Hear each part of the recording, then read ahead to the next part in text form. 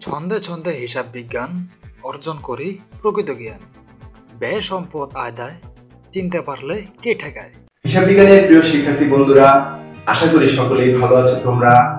হিসাব বিজ্ঞানের প্রকৃত বিশুদ্ধ জ্ঞানের জগতে আমি রিয়াজুদ্দিন তোমাদের সবাইকে জানাই সুস্বাগত।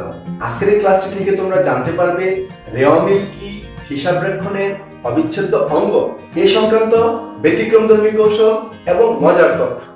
রেওয়ামিল কি হিসাব রক্ষণের অবিচ্ছেদ্য অঙ্গ। এর এক কথায় উত্তর হলো না, রেওয়ামিল হিসাব রক্ষণের অবিচ্ছেদ্য অঙ্গ নয়।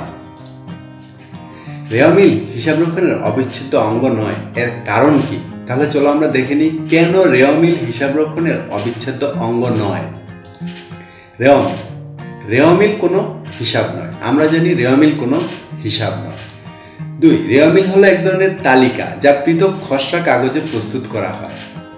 আর এই তালিকাটা পৃথক খসড়া কাগজে প্রস্তুত করা হয় খতিয়ানের ব্যালেন্স থেকে। অর্থাৎ খতিয়ানের ব্যালেন্স থেকে আমরা একটা তালিকা তৈরি করি, সেই তালিকাটা হলো রেওমিল তাই এই যে তালিকাটা, এই তালিকাটা ছাড়াও চলে।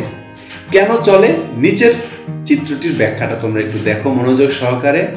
আমরা লেনদেনগুলোকে সর্বপ্রথম এই জাবেদায় লিখি। জাবেদা থেকে খতিয়ানে লিখি। খতিয়ান থেকে রেওয়ামিলে লিখি। আর রেওয়ামিল থেকে আর্থিক বিবরণী প্রস্তুত করি। এই যে রেওয়ামিল, এই রেওয়ামিলটা করা হয় মূলত এই যে তার বাম দিকে। আমরা লেনদেন থেকে জাবেদা করি, জাবেদা থেকে খতিয়ান করি। এই তিনটি কাজ সঠিক কিনা, অর্থাৎ গাণিতিকভাবে শুদ্ধ কিনা, এটা যাচাই করার জন্য আমরা রেওয়ামিল প্রস্তুত করি। এখন প্রশ্ন হলো, যদি কোনো অ্যাকাউন্টেন্ট মনে করে যে আমার এই সম্পূর্ণ কাজটি সঠিক আছে, তাহলে সে রেওয়ামিল প্রস্তুত না করেও আর্থিক বিবরণী সরাসরি খতিয়ান থেকে প্রস্তুত করতে পারে। অর্থাৎ এখানে স্পষ্ট প্রমাণিত যে রেওমিল করাটা বাধ্যতামূলক নয়।